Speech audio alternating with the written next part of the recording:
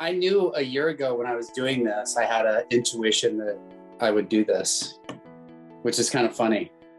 I wanted to. That's because nice. you, you help me and I want to help others. So.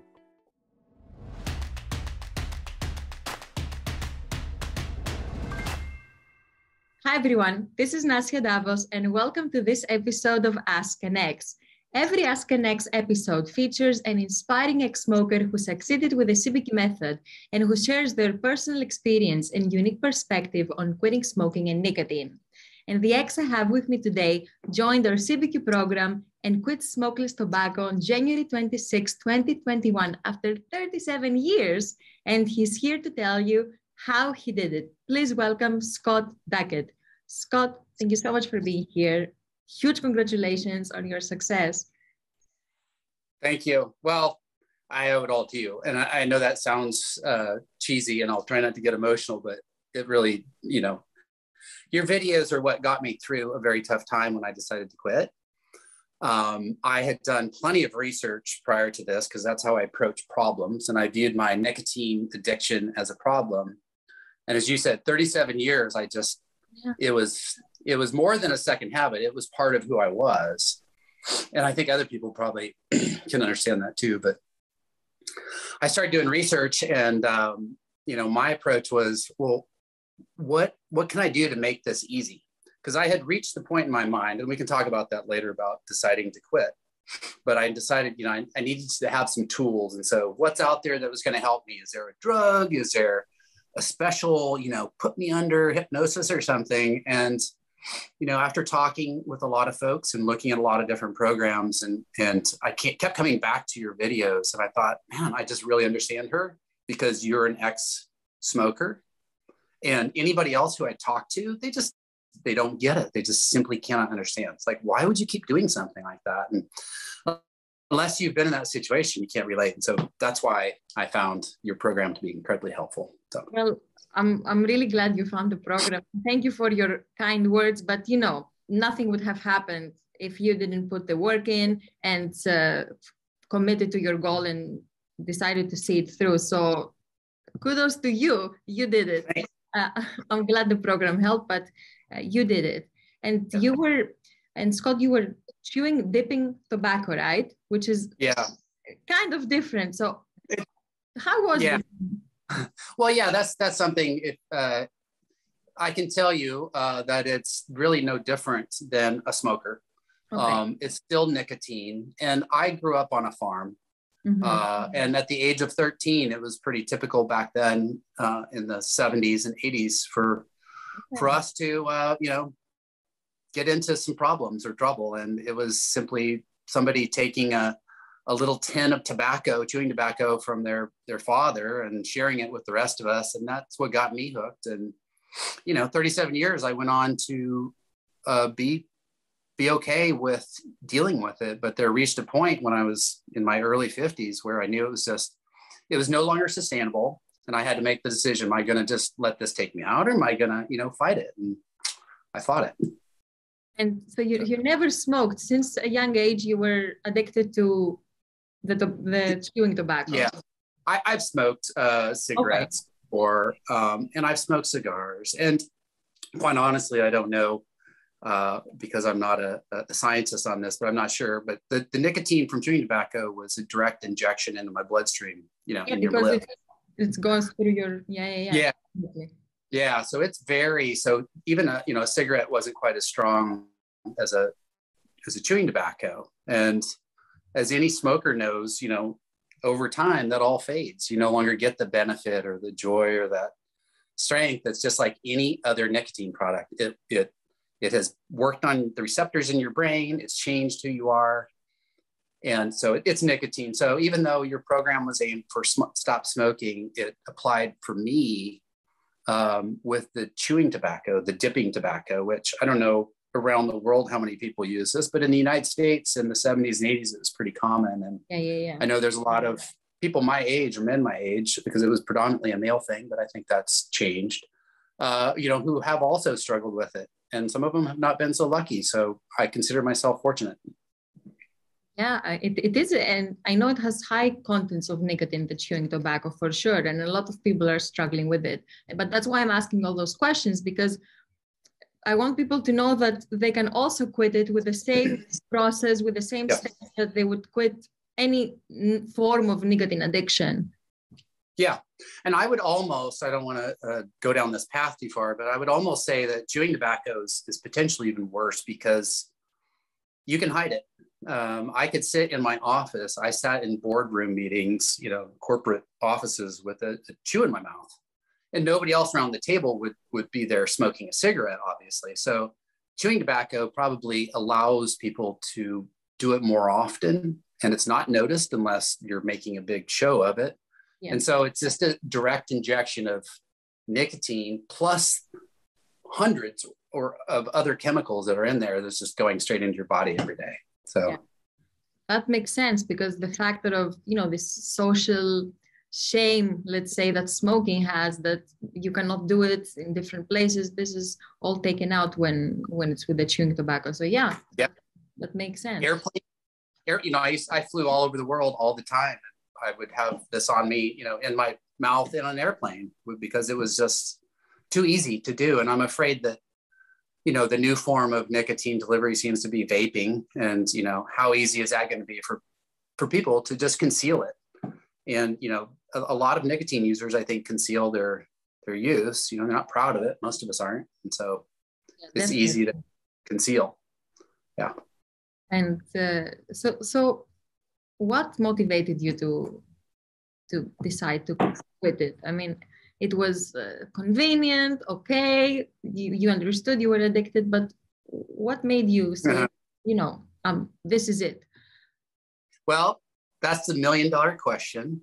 Mm-hmm. And I've listened to podcasts and I've listened to interviews, and it seems like the person being interviewed always has this aha moment, right? It's like, well, this happened and, and that changed my life.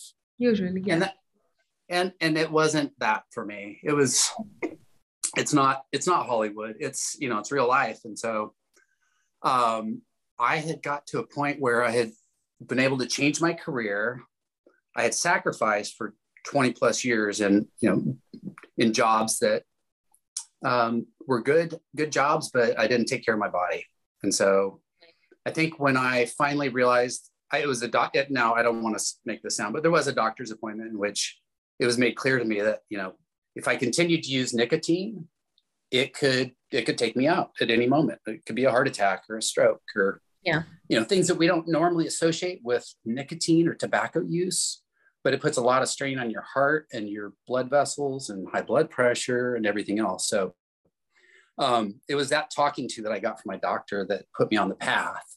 And then i started to research for weeks silently secretly um, looking into it. And then i think probably about two months after that doctor's appointment and thinking about it and thinking about it I finally said something to uh, some of my family members, and that's where it became, you know, reality. Yeah, when you yeah. when you voice it, you put it out there, and now you you can't back out. And I think a lot of tobacco users think that because secretly we, you know, we we like our tobacco. It's getting us through something, some hard times, but and we say, oh yeah, we shouldn't do it. But most of us, our self talk is, I'm keeping it because this is my friend and it's, you know, it's my tool, it's my crutch. It helps me through all these problem times. That's the addicted mind doing its thing. Yeah. Yeah. And I knew that, you know, I wanted to keep going. I wasn't ready just to throw in the towel on life and, and say, well, you know, this is going to take me out. Let it, let it do it. And then I watched your video. this is where it gets hard. Um, something you said just stuck and it just it's when you said embrace the withdrawal. And I was like, that's it. That's it.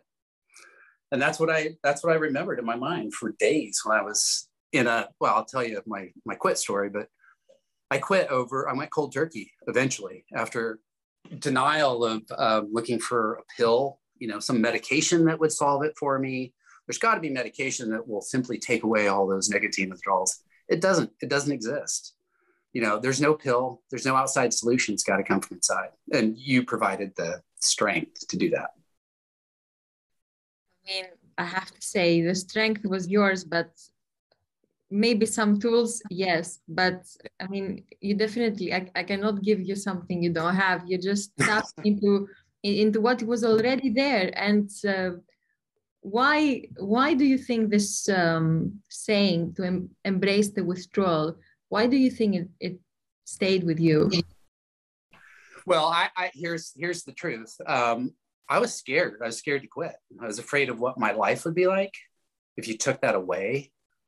Mm-hmm. And so that was for me, that was the hard part. It's like, you know, how am I going to get through all this? Is it going to be, you know, quitting tobacco just sounds horrible.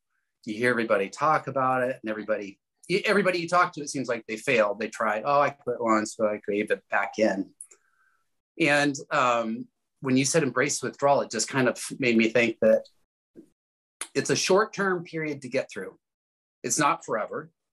So if it's a short term period, can I put up with a few days of you know uncomfortable withdrawal? I did all the research on nicotine in your brain and how long it takes for the half life and then the full removal of all that nicotine and whatever else is associated with it out of your body. And I just um, I decided I was at a place where this was the most important thing in my life. So I basically uh, called into work one morning and said, um, I'm going to be gone for the next few days. And I secretly said, uh, I don't want anybody to call me. You know, I'm taking some personal time. And I went, uh, got in my vehicle. I told my wife and my daughter what I was doing. And I got in my vehicle and I drove two hours to a little tiny village on the Oregon coast that had a hotel. And I checked in and I sat at the uh, Oregon coast for five days, watching your videos over and over and all your Ask an Expert videos and everything else. And by that time, it was out of my system. I got the physical part through and I was reborn. So, so wait, wait. So you quit cold turkey, the chewing tobacco, and then you joined the program, or throughout the program you decided to to how, how did you do it? Uh, yeah, um, I watched a few of your videos and and kept coming back to them and I kept realizing, man, she really knows what she's I can hear her talking to me, is what I heard. And so, you know, I like I said, I, I was my mind is you solve a problem by fixing it any way you can. So I looked for all these other alternatives and none of them existed at the end of the day. Well, they do, but I don't think they work. So my I uh, I had maybe got the patch and I had some nicotine gum. And when I got in my vehicle that morning, I threw them all away. and I drove uh, to that place, and um, I had your video program already purchased, and I had knew I had it saved on my YouTube channel. Okay. And I got into my hotel room, and you know, I, I had some work. I, I put some work aside, but I uh, just started watching the videos and I started going through it day one, day two. And I was already into a few of those days by the time I caught up to your videos. And then your videos passed me, you know, as I watched them. And it's like, wow, I could just relate. I could understand everything you were saying.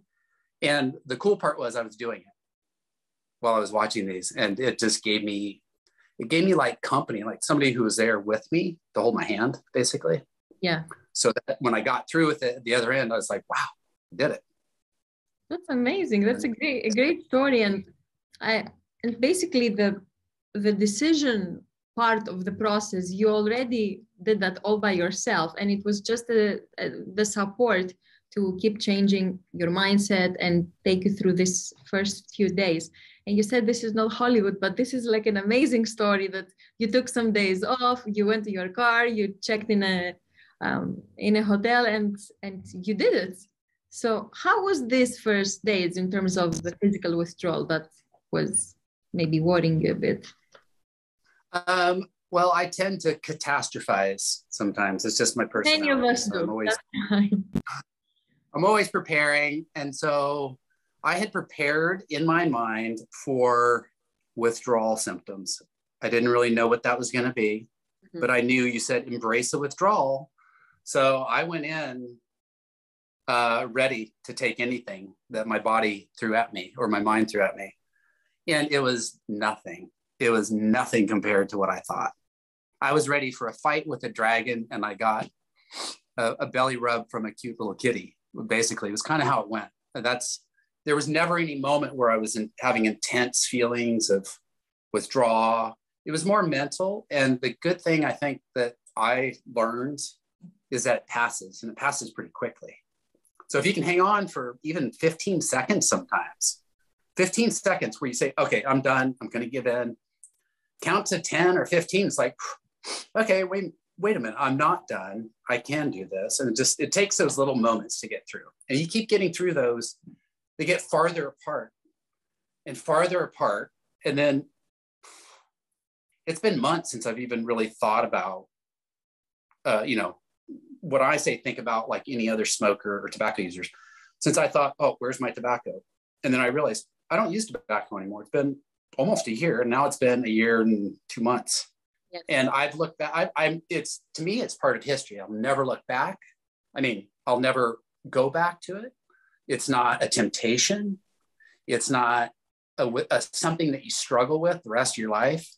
There's a whole new world. It's kind of like when you're playing a video game and you level up to the next level and you get all these new tools and all these extra points. That's kind of what it was like in life. It's like I leveled up I got to enjoy food now. I get to enjoy smells. I get to enjoy being around my other people and I don't have to worry about any of that stuff. So it's great.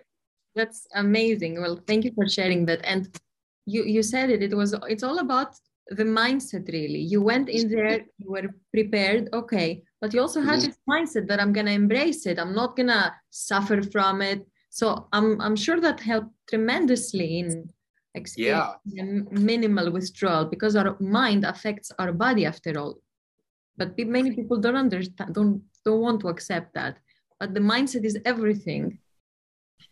And, and I will say, I, I want to repeat this, and, and you didn't tell me to say this before we got on this video, but it was you it was really you. You you tapped into something that convinced me to listen to you, and I think that was what was important. And, you know, there's books out there. There's online. Google "stop smoking," and you'll have all these things uh, that fit. Maybe they fit previous generations. I don't know, but it didn't. Those none of those things appealed to me until I could listen to you and listen to what you're saying. You're talking from experience, I could relate to that experience, and that's what gave me this the motivation to do it. So I hope I hope other people do. Hope everybody does it. I can't I can't say enough how it just changes your entire life. It's it's amazing. It's not just a little bit better smell, a little bit better taste. It's like your perspective on the world changes, and you can't put a price or value on that, in my opinion. So, thanks. Thank you so much. It means a lot. It means a lot, and I'm I'm glad you found the program and uh, you you followed through. Uh, you said yeah.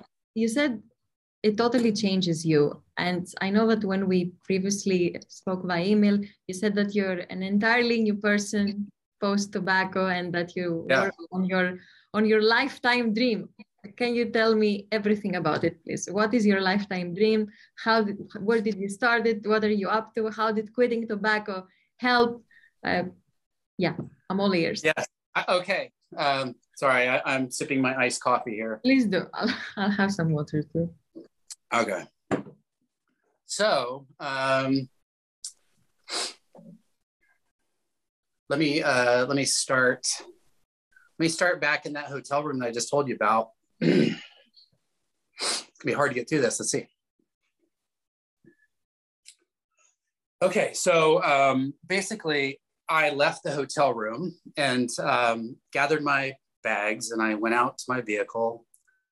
And I got in the vehicle, and I made sure I had everything. And I was leaving the hotel room after five days of being locked in. You know, I went for walks, but I, I stayed mostly in the room. Um, I got in my vehicle and I started it up, and I started moving the vehicle away from the parking spot. And I felt like uh, I had had an uh, what do you call it? amputation. Okay. That was the only way I could describe it. I had this weird feeling.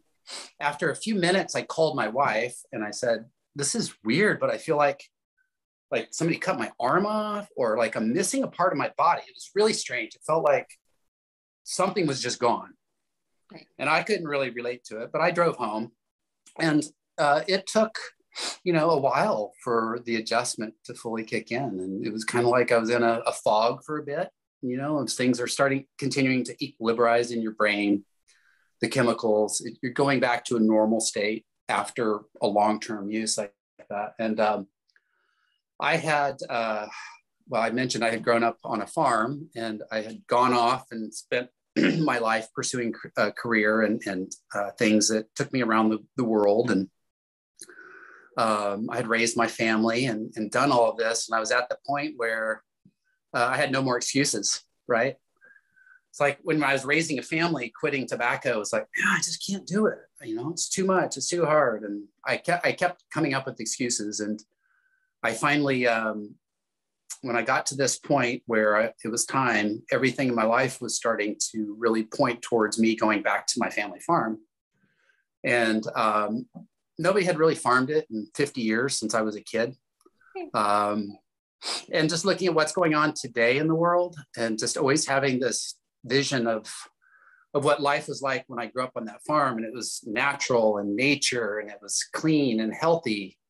And, and the world you know has gotten crazy in the last couple years obviously. It's yeah. been that's a, it's you can say it's crazy anytime but um, that all pushed me to to think about what I wanted to do with the rest of my time because I was basically at a point my career you know I had, had gone through my career and I had a chance to start a new career or I could have stayed doing what I was doing but I really was ready to do something physical more with my body and so I started I went back to farming and uh, I had started this farming endeavor which kind of uh, it just came about because I grew up um, gardening with my grandfather uh, when I was young. And I spent all of my time with him when I was young out in the garden and, and farms and doing things. And it just brought back a good memory. And so um, I came back with that experience of farming coupled with my life, you know, traveling living around the world and technology and an understanding of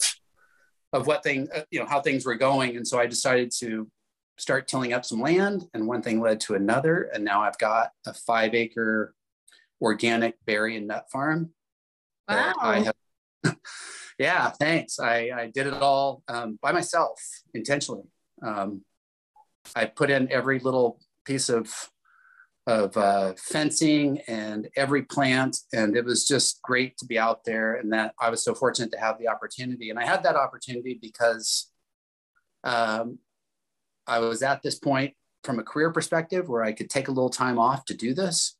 And I had this newfound, I don't know what you call it, calling. It was a calling really after I quit. The day I left that hotel and I had the amputation, it felt like something different changed. And since then, I have just been um, on a mission to build a farm that I want to educate people about. I want to bring people to. I want people to see what you know that type of life is like. I live in a city now, and my farm's out in the country, and I can see a, a balance that I think a lot of people would probably like, especially after being trapped through this pandemic for the last two years indoors. I think out, you know, being able to go outside and and uh, get in touch with things is important. So I'm growing um, a lot of different berries. I've uh, in my part of the world, which is in the Western United States and North America, I'm in a, a valley um, that is great for agriculture. It has a lot of natural rainfall,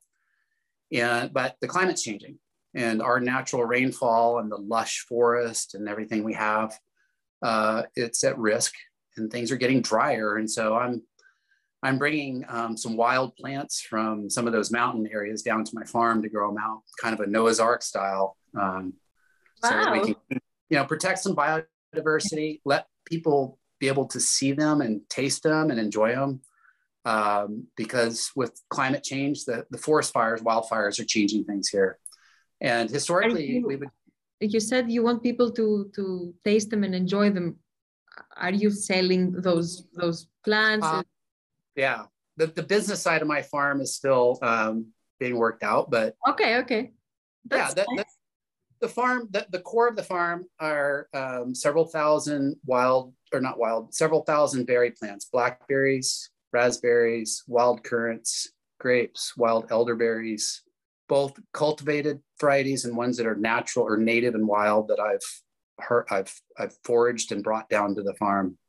And uh, in the in the summers, people used to go pick berries in the mountains, but now uh, because of fire danger in the dry summers, people don't get to go into the mountains as frequently, and so that's why I want them bringing the berries down to the valley so we can keep enjoying them and people can learn about them and want to protect them. Nice.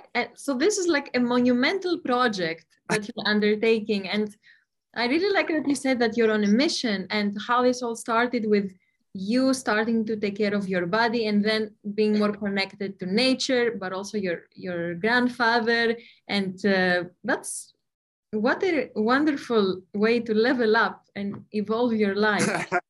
level up, I guess that's the term. Yeah, yeah. The other part I left out is my my diet and lifestyle that went along with this. So, um, you know, I I, can, I changed my diet. I mean, I grew up uh, grew up and lived like everybody else, eating a wide diet. Mm-hmm. Um, but I went plant based. Um, okay. Shortly after I quit tobacco, actually, it was about uh, two months after. So, probably the end of March. So, I'm probably coming up on a year now of living a plant based diet. And how has that been for you? I'm almost afraid to say this, but don't be, don't be um, I'm 53 and I feel like I'm 20. That's amazing. The diet, it, the diet, or not, I shouldn't call it's not diet, it's just a way to eat. And the way I've started eating, which is all plant based. So I mostly eat oats and berries and nuts and whole foods. Okay. Um, I eat good. I eat gourmet plant based food. I mean, there's gore, you know, it's, it's, it's not a sacrifice, but it is a change. And because of that change, my energy level has shot through the roof.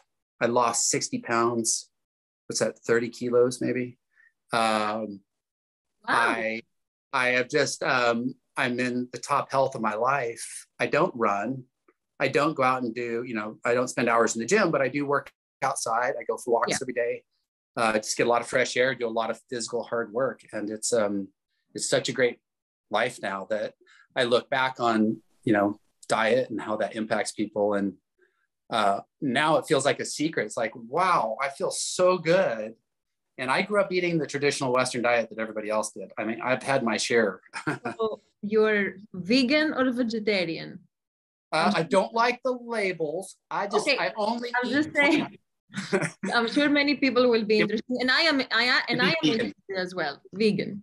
It'd be vegan, yeah. I mean, but I'll eat honey sometimes because the right. bees on my farm, I like to share with them.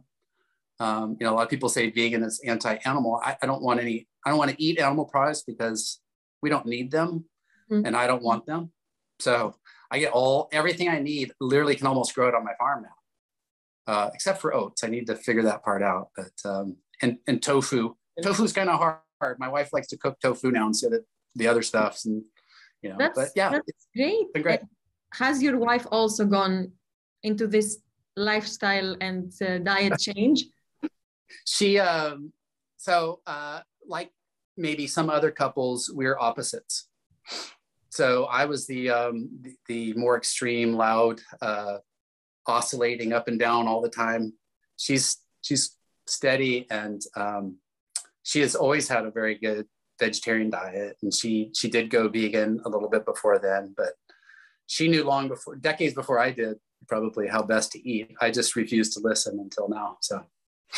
You you have to be ready for it and it's amazing that you that you have almost everything uh, on your farm and i know you have um, an instagram uh, yes channel where yeah. you where you share photos and you record your journey is it okay if i add the handle under Absolutely. the video so people can check it out I, I would i would love that in fact i mean for me I, I lived in you know i lived in the city for decades and um, my Instagram, the reason I post my pictures is so people who aren't out there with me can see it, see what I'm seeing. Great. So that's so yes, share it with anybody that wants to see what I'm saying. Great. I will add it under in the description of the video because especially since you're on a mission to educate people and it's such a wonderful thing. Um, it's. I'm sure many people will be interested to check out what you're up to. well, I hope so. I mean, it's it's just it started with uh, like I said, it was it was tobacco, you know, I was getting rid of the tobacco and and looking at life differently. And it's like there was nothing stopping me from doing this. So why not take all that extra energy that I used to spend with my tobacco or nicotine and put it into something else? And so when I wake up early in the morning and I want to, you know, in the past, maybe I would have had some tobacco right away with my, my coffee. I start looking at my um, my berry crops and my plants and have my coffee, and I don't think about tobacco. I think about so many better things. It's great. So. Yeah. Um, thank you for sharing all these things. And I have one last question. What advice would you give to someone who may have been smoking or vaping or especially chewing tobacco? What advice would you give them if they're struggling to succeed or if they feel that life will be worse without that crutch? What would you say to them? First thing that comes to mind is how best to say this politically correct. Kill it. Kill that old friend of yours because nicotine you may think of it like a friend. And you know the, i can say this as a nicotine user you have self-talk. You have this self-talk in your brain that says everybody else wants me to quit. I know i should quit. Society wants me to quit. And i'll say i quit but self-talk, you're still saying, I'm hanging on to this because it's the only thing I have. It's my little crutch. It's my, it helps me get through the day. And I used to believe that too. And now I see it and I'm like, oh my God, that is such a lie. Tobacco, nicotine is such a lie over our brains. You don't need that drug. And so it's got you to where it is now. This is what I'm saying. I'm talking to people who want to quit. It's like it's got you where you're at now, but it's not going to do you any favors going forward. So kill it kill it. Say goodbye to that friend. Thank you. It's been great. You go your way and I'm going my way. Well said. Perfect. I mean, thank you so much for, for making the time and for sharing your experience and your advice and how your life blossomed literally after yes. breaking free from nicotine and how you leveled up. And I know that what you shared will help, but above all, inspire many other people. So thank you so much. Thank you, Nazia. I mean, seriously, I feel like I know you. I feel like you're a family member almost because I watch your videos so much. So That's thank you for doing it.